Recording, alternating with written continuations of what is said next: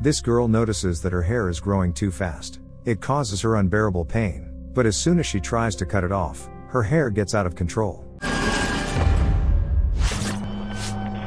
A dark skinned girl named Anna plays a radio host in her older cousin's room. That night, the girl wants to straighten her curly hair, so her sister applies a particular product to her strands. When it's time to wash it off, Anna feels an intense burning sensation, and in addition, her hair falls out in shreds instead of straightening. This leaves Anna with a lifelong scar on her head and horrible memories.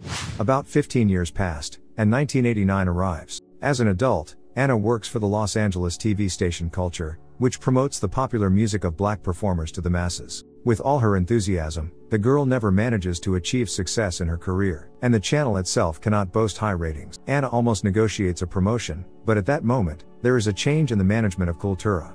Notably, the channel owner is white, and almost all the employees are black. During a general meeting, Anna learns that her boss, who has championed black culture, is stepping down. Her place is taken by former supermodel Zora. The channel will now be called Cult and focus more on white viewers. Each employee will have to be interviewed and prove their usefulness in the new environment. The workday begins. Everyone is discussing the hair extensions of the dark skinned singer Sandra, whose music videos are constantly broadcast on the channel. Anna's colleagues admire the singer's straight hair. Many dreams of such a hairstyle. Afterward, Anna's boyfriend, Julius, who works as a host, informs her that he has found a new girlfriend. He devalues his relationship with Anna, which seriously hurts the girl. In the evening, Anna returns home to a rented apartment in a dysfunctional neighborhood. She watches a program hosted by Julius. The next day, Anna goes to an interview with Zora. At first, the girl acts stiff but soon loosens up and confidently suggests the idea for an excellent new show. She even provides a plan with a script and a list of guests. Zora likes the idea. She offers Anna the job of assistant producer. But Zora is uncomfortable with her hair and clothing style. In her opinion, Anna's image should become more glamorous. After the interview, Anna finds a business card from a hairdresser where she can have her hair done like Sandra's. In the evening, the girl comes to visit her uncle and aunt. Anna's sister and her husband also come over for a family get together. Those gathered to discuss the folk tales of black people invented during times of slavery. Anna believes there is too much superstition. However, her uncle insists that these tales are filled with wisdom.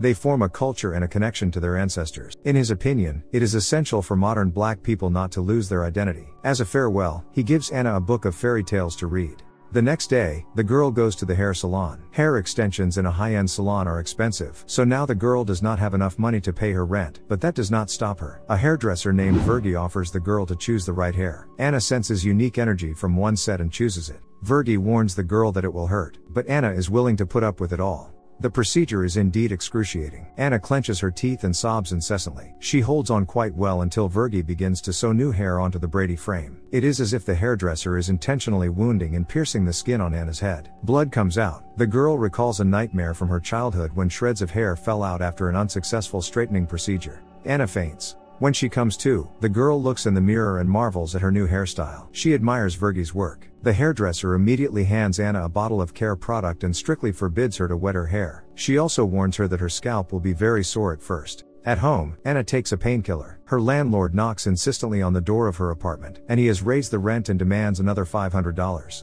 But Anna has no money, so the man mutters threats under his breath and leaves. For the night, the girl decides to read a fairy tale about a girl with hair of moss. In it, the heroine finds moss like hair in the forest and makes herself a wig. Looking at the picture of the girl's hair choking the man, Anna falls asleep, and she is tormented by a nightmarish dream. The attitude of her colleagues to the girl changes in a positive direction. Zora also notices Anna's new hairstyle. Thanks to this, she invites the girl to an important meeting of producers and presenters. Anna accidentally injures her finger until it bleeds and notices that her hair is sucked into the cut. She pulls out the naughty strand and rushes to the meeting. Here, Zora suggests abolishing the show dedicated to black women. The host is incredibly outraged by such a decision. Few staff members are willing to change and comply with Zora's new demands. Meanwhile, Anna begins to have an unbearable headache and is forced to take pills in front of everyone. Zora states Anna's ideas almost verbatim, passing them off as her own. In her office, Zora reprimands Anna for her silence during the meeting but softens as she assesses the girl's hair. Anna asks if she will be allowed to host the show, but Zora is not yet ready to give the girl that opportunity. Anna indignantly blurts out that Julius initially worked as a secretary, but he had no problem being given the role of host.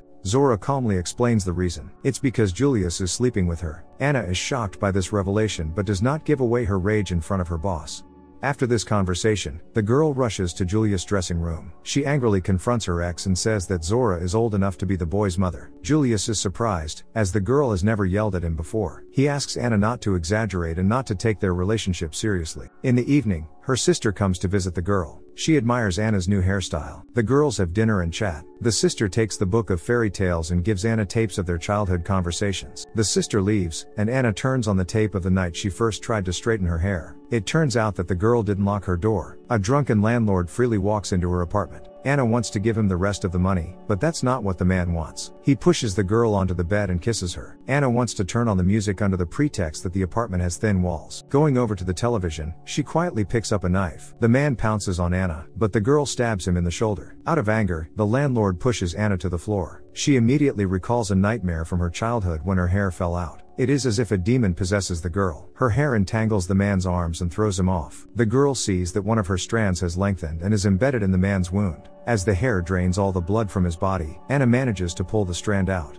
The bloodied man dies, and the girl throws his body out the window directly into a garbage can. The next day, Anna sees paramedics and police officers outside the house. They take away the body of the owner of the apartment, and the neighbors are only happy to see him dead. There is a meeting at work. One of the presenters breaks down and flatly refuses to change her style to suit Zora and her new routines. Anna persuades her friend to stay on the channel, arguing that changing is fun. The girl promises to think about it and leaves. Left alone, Anna tries to convince herself that the landlord was an evil man and that his death didn't hurt anyone. After a while, Anna manages to assemble a team to work in a new format. She reports to Zora about it. Only the primary host is missing, and Anna hopes this position will be entrusted to her. But no answer from Zora yet.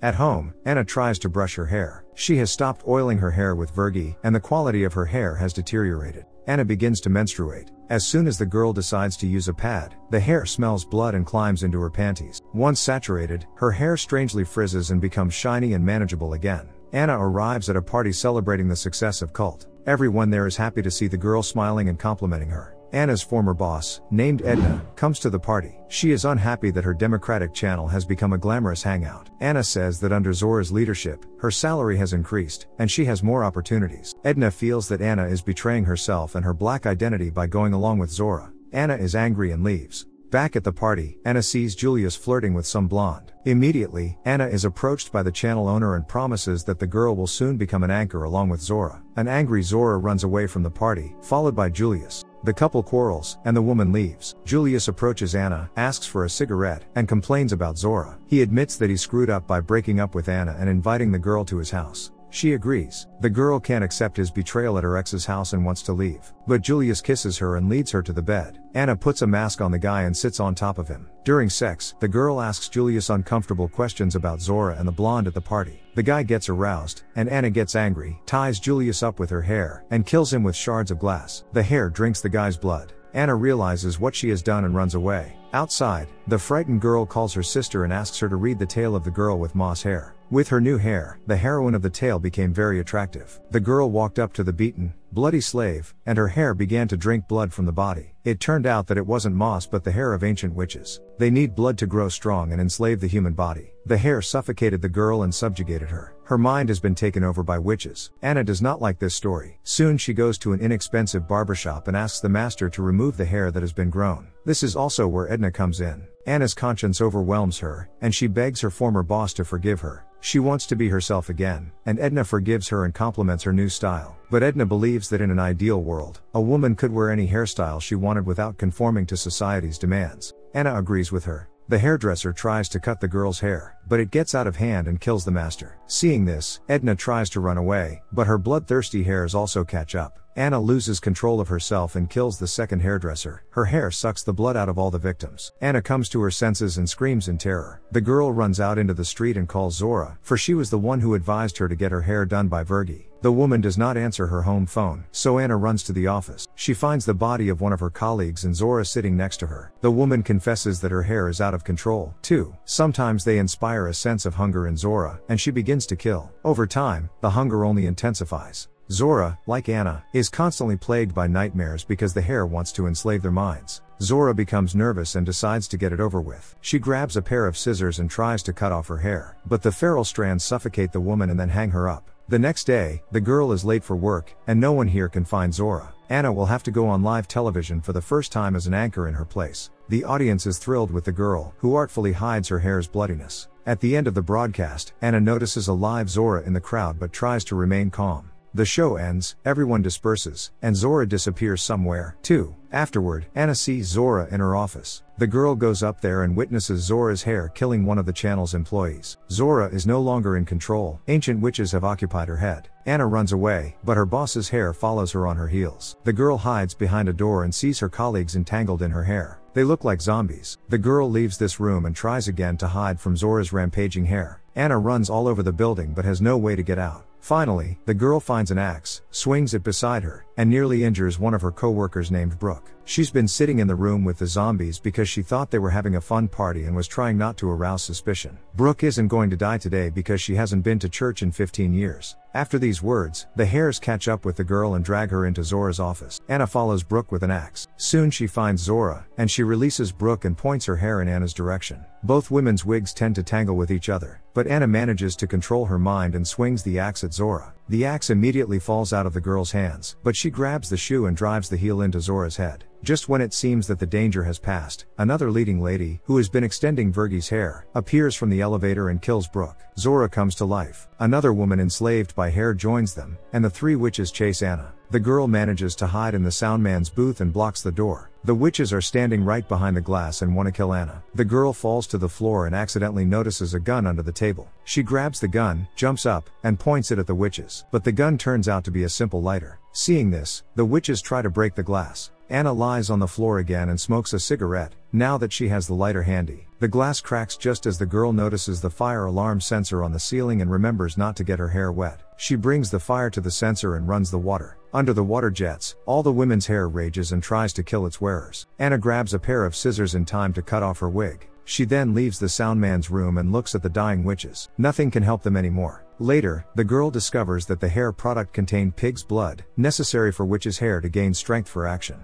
Anna also manages to find out that the tale of the girl with the moss hair is accurate. Once upon a time, trees with witch's hair grew on one slave owner's property. That man died, and his lands went to his sons. One of them is precisely the owner of the cult canal. This white man thinks he can use plants and people as he pleases, so he sells witch's hair to a barbershop. While Anna was reading A Tale of Witch Hair, her sister went to get her hair extensions at Virgie's. Thank you all for watching, subscribe to the channel, give it a like, suggest your movies in the comments, and we'll try to provide you with quality content as often as possible. See you all soon.